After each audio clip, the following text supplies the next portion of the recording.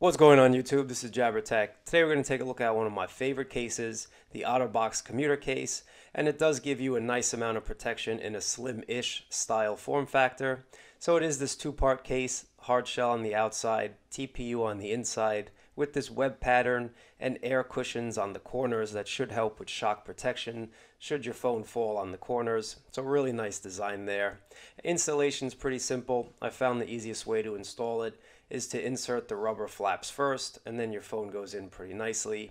And then along the sides you do have some nice ridges that help you determine where the power buttons are and your Bixby button so that's really cool.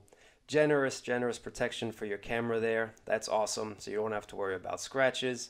The front lip is also pretty generous, so I feel like this case definitely offers a decent amount of protection, probably moderate to heavy.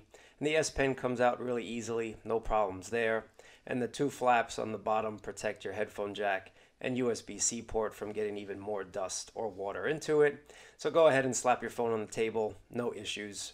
Really nice case, I highly recommend it, it's one of my favorites. And now let's just check out if wireless charging does work on this case, I'm sure it will. And there we go. Yes, wireless charging works. Awesome. So you get awesome protection and you get wireless charging. There's really nothing more that you need. You have camera protection, you have front lip protection. Actually feels good in the hand, doesn't add too much bulk at all. So anyway guys, that's been my review.